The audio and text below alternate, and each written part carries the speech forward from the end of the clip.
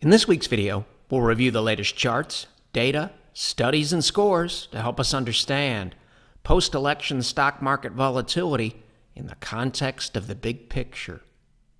We'll be moving quickly, so feel free to use the pause button on your video player. This is a weekly chart of semiconductors relative to the S&P 500. It is dated February 15, 2024. Covered this chart in the February 16, 2024 video. Part of the exercise back in February, we had that left shoulder, inverted head, right shoulder look, and after that, from the bullish pattern, semiconductors outperformed significantly. Since then, they've come back and they have somewhat of a concerning relative look on November 14th, 2024, something that we have to keep an eye on. If we look at the same relative chart on November 14th, SMH relative to SPY, it also has somewhat of a concerning look. And if we strip away the other moving averages and focus on the black 250 day, and then if we even go further and strip out price and just focus on the 250 day moving average, it helps us illustrate a point. The trend in January of 2022 was more susceptible to a rollover, which aligns with this flip from a positive slope in Q4 of 2021 to a negative slope of that 250 day in early 2022. If we go to the present day upper right hand corner of your screen on November 14th, 2024, you can see the trend in the present day is stronger than it was in January of 2022. It doesn't mean that we ignore the vulnerable look here and the vulnerable look here, but what it does mean is that the strength of the trend in mid November 2024 allows us to be a little bit more patient than we would have been here in 2022 based on the look of these charts. It's also noteworthy that if we take this relative chart, SMH relative to SPY, and get rid of the denominator, looking at SMH in isolation, and then we compare the trend in the present day to Q1 of 2022, and we're looking at the 20 day moving average in blue all the way out to the 250 day moving average in black. This is that concerning look where the fastest moving average, the 20 day in blue, slices relatively quickly through the entire moving average cluster. Price drops below the cluster, and then it can't retake the cluster here, and then it fails. That's not what we had earlier in 2024. Look at all this white space that we had here between the 250 day moving average, the 225, and the 200 in gold. Contrast that with this look here in early 2022. This too is telling us we can afford to be patient to see how this weakness in SMH plays out, while at the same time keeping an open mind about the weak look that we do have on these relative charts. Something else that can help us make better decisions in the coming days and weeks on the relative chart of SMH SPY, but this time we're using an anchored volume weighted average price chart. We also have several reference points in the area. Number one, all of these colored lines, which are the anchored volume weighted average price lines, for the most part, they continue to slope upward, indicative of an uptrend. Having said that, the shorter term anchored volume weighted average price lines are starting to flatten out, indicative of a weakening relative trend. Thus far, if we draw a trend line on the ratio from here to here to here to the present day, on November 14th, intraday, we're holding in a logical area. We also had that left shoulder, the head, and the right shoulder, and now that formation over here is starting to fall apart. The reference points that we have in the present day go from where the ratio is on November 14th all the way down to this blue line here, the anchored volume weighted average price line tied to this peak here late in 2021 before the bear market started. This is also relevant, the low in October of 2022. Moral of the story concerns would increase if the ratio moves into this area down here below this downward sloping line. This is your gray area in here as long as you stay above this blue line, and concerns about the entire rally, since this is a risk on ratio, would increase significantly if this ratio moves into this area here. So far, this chart, this chart, and the slope of the 250 day moving average, they're all telling us to try to remain patient and see how things unfold, but to do so with a flexible, unbiased, and open mind. When you have these indecisive looks, especially on the relative charts, it can be helpful to look at Ichimoku cloud charts. In this case, we'll look at the weekly chart of SMH, the cloud chart, in isolation. There's a lot going on here, but it's easy to understand. And as a reference point, you can use these bullet points up here that will appear on the next slide.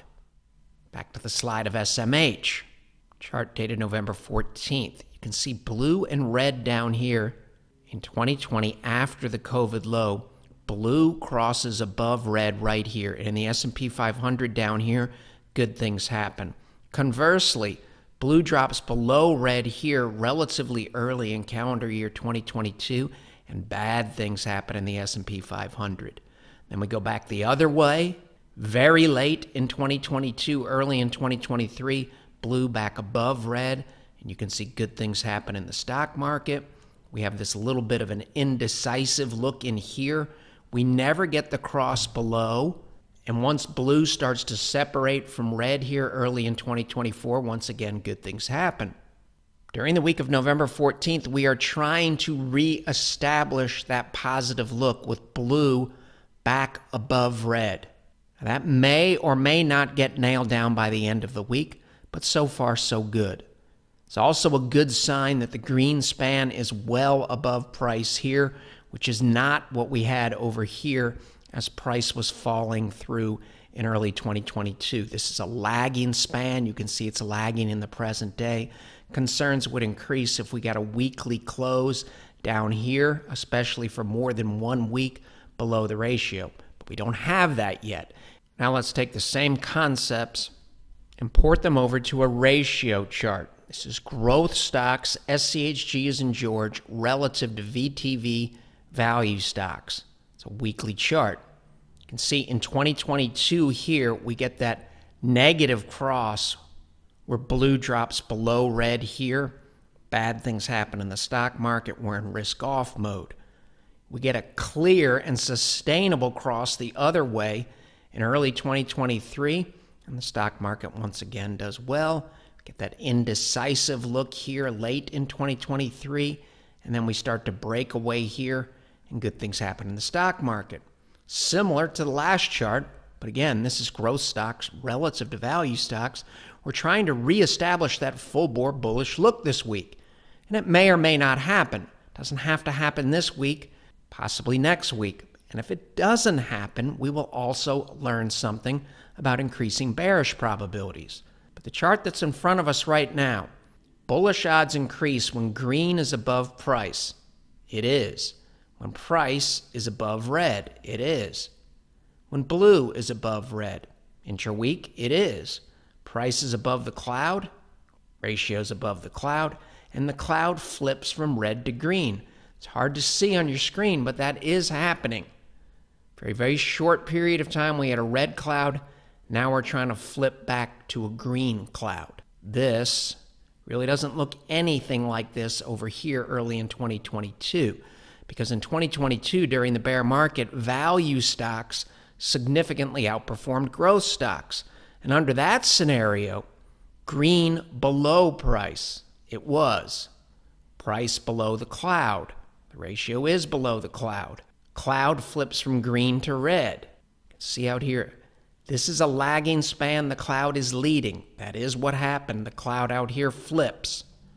Moral of the story here if we compare the present day using these bullet points and these bullet points, compare and contrast mid November to the bearish flip here in 2022, the present day really doesn't look anything like February and March of 2022. Similar situation with the S&P 500 weekly cloud in isolation early in 2022. Blue and red are together. It's that indecisive look. The slope is down, blue drops below. The lagging span is below price price drops through the cloud, and eventually the cloud flips from green to red. It's not what we have at all in the present day. We're checking all of the bullish boxes on November 14th. Green span above price, it is. price above red? It is. Is blue above red? It is. Is price above the cloud? It is. Is the cloud green? It is. This really doesn't look anything like this concerning period in here in 2022. Now if we flip over to the cloud of XLK, the tech sector for the S&P 500 in isolation, you can see price-wise we've been consolidating. It's been weak, but this is a good sign. We have nailed down the cross where blue goes above red. Bullish odds increase when blue is above red. We have that. Green is above price. We have that. Price above the cloud. It is. Cloud didn't even need to flip from green to red because it stayed green during this entire time, which is indicative of consolidation within the context of an existing uptrend. Had a nice cross here that's similar to the present day, another cross here in Q1 of 2023, and this cross blue above red doesn't look anything like the negative cross that we got in 2022. Let's stay with a weekly cloud and now let's look at relative chart. Small caps, which have been improving relative to large cap growth. If you objectively look at the bullet points up here, really not checking bullish boxes. Let's go through the bullish boxes. Is green above price? It is not. Is price above red? It is not. Is blue above red? Negative. We can't check that box either. Is the ratio above the cloud? It is not. Has the cloud flipped from red to green? It's really not even close to doing that on November 14th. For us to get more interested in small caps relative to large cap growth stocks, we'd like to see this look here morph into something more like this this transition period here in 2023 when the tech sector flipped from a concerning look to a constructive look. And that may happen, but it hasn't happened yet. Let's go to an even longer time frame, the monthly cloud, and compare XLF financials, the financial sector of the S&P 500, relative to SCHG large cap growth stocks. This trend, from a long-term perspective, has a lot of work to do. You can see this move here. This is a massive counter trend move within the context of a longer term downtrend. Compare the look of the ratio down here in 2024 to this list and this list. Yes, financials have been outperforming in recent months, but until proven otherwise, we would treat this as a counter trend move within the context of an existing downtrend, which means if we decide to sell growth stocks and buy financials and this trend holds, then we're going to have to do two things right. We're going to have to know when to buy XLF, and more importantly, we're going to have to know when to sell it when the downtrend resumes. Now, we're not making any assumptions about what's going to happen next, but the chart in front of us is a long term downtrend. Similar situation here but there is some significant improvement on the chart of XLY consumer discretionary relative to SCHG large cap growth stocks, with one exception. All of this improvement down here, which is relevant, real, measurable, we can see it, measure it, and put it in a model, all of it's happening within the context of a downward sloping and relatively thick red cloud. What does the thickness of the cloud tell us? It tells us that resistance in this area has the potential to be relatively strong. So, once again, to get more interested in consumer discretionary stocks relative to large cap growth stocks, we would want this look down here to make a move like this, where it goes from this look down here to this look over here as the S&P 500 tech sector did in 2023. And you can see after that really good things happen for a long period of time.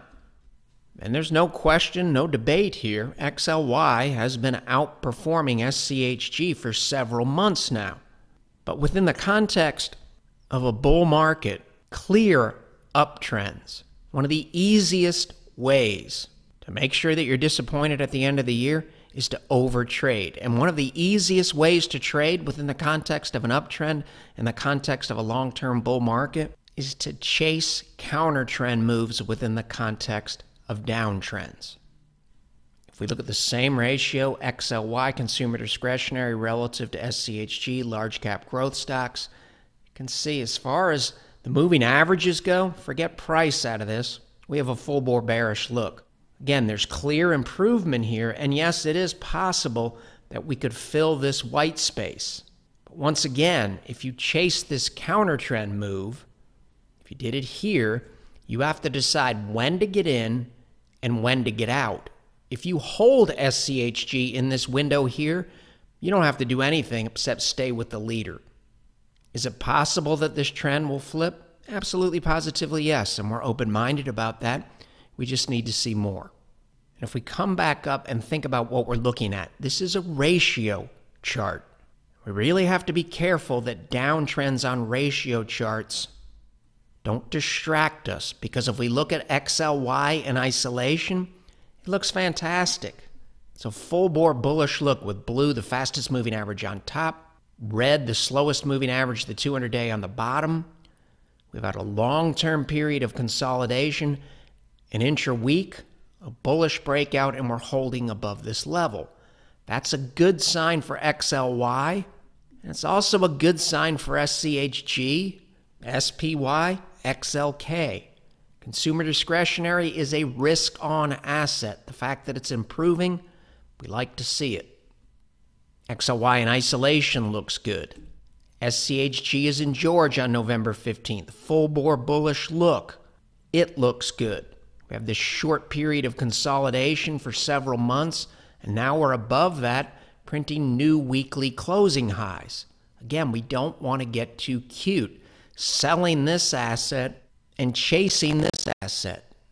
In this environment, with an uptrend and a clear uptrend, we're going to stick with the long term winner, the one that has the higher probability of being higher in one year, three years, and five years.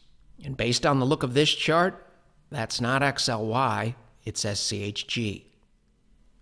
We also have a nice looking chart of XLK, which too has been relatively weak since peaking on a relative basis in July of this year. But in isolation, it looks fine. November 14th, full bore bullish look. Prices above all the moving averages. Blue is on top, red is on the bottom. The slopes of all the moving averages are up. This looks like a strong uptrend, similar to this look in here. And the market did well for a long period of time. If this in isolation starts to morph into something more like this, and really, more like this, concerns would increase, but we just don't have that yet. We also noted on this chart, the weekly chart of small caps relative to growth stocks, that small caps were still in a relative downtrend. However, in isolation, the laggard also looks good. Full bore bullish look, we're still holding above this level here. The longer a market goes sideways, the bigger the move you can expect to get when you either get a bullish breakout or bearish breakdown. Right now, this is a bullish trend, and we're trying to nail down a bullish breakout. Another chart to help us remain patient. If we look at the S&P 500 in isolation using the 20-day moving average in blue all the way out to the 250-day moving average in black, it too has a full bore bullish look. This really doesn't look anything like this concerning transition here, this bearish transition in January, February, March, and early April of 2022. And after this, bad things happen for a long period of time. Again, it's not debatable. The tech sector has been a laggard since July of this year, but if we look at it in isolation, it looks fine. Blue, the fastest moving average on top. XLK on Thursday was trading above an upward sloping 20 day moving average. That doesn't look anything like this bearish rollover look that we had in 2022. We're not making any assumptions about what happens next, but this recent consolidation in recent weeks is occurring well above an upward sloping 250 day moving average in black. Dean Christians and SentimenTrader have produced several helpful studies in recent weeks and months We'll show a portion of one of them so we're not stealing their thunder. The QQQ liquidity premium indicator triggered a risk on signal. The triple Qs, the NASDAQ 100 ETF, a year later, the mean return 20.4%. the median return just a hair under 21%, and maybe most importantly, every single case the triple Qs were higher. And maybe just as important within the context of a bull market, the performance of the triple Qs in the historical cases really not all that impressive looking out one week, two weeks, one month, and two months, helping us keep realistic expectations about how markets operate in the real world. In the historical cases, patient investors were rewarded in a big way, which simply helps us better understand the probability of good things happening relative to the probability of bad things happening. And this look here, and this excellent return, looking out 12 months, aligns with some of the charts that we have in the present day. SMH is your market leader, so it's already done this, but a lot of your tech and growth charts, especially on a relative basis, look like they're still trying to form this right shoulder over here. So, this right shoulder would align with the potential for possibly mediocre returns or mediocre relative returns looking out one week to two months and it would also align with once SMH broke out in October of 2023 and cleared the neckline of the inverse head and shoulders pattern, it killed it, which would also align with the possibility of something like this happening. Regardless, it's extremely important that we trade the chart in front of us. And the concept of trading the chart in front of us also applies to data sets and model scores. November 14th, 2024, trend strength model, double 100s. Also, extremely favorable secular volatility model scores, aligning with the concept of strong longer term trends, giving us room to be patient. And typically, patience pays off in bull markets.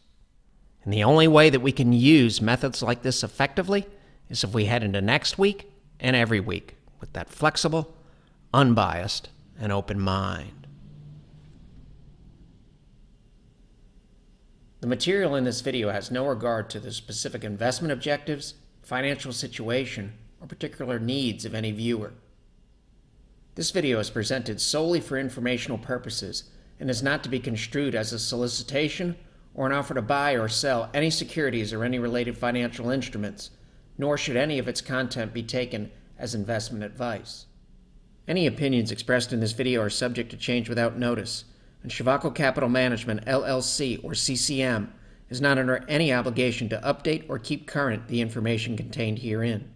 CCM and its respective officers and associates or clients may have an interest in the securities or derivatives of any entities referred to in this material CCM accepts no liability whatsoever for any loss or damage of any kind arising out of the use of all or any part of this material. We recommend that you consult with a licensed and qualified professional before making any investment decision.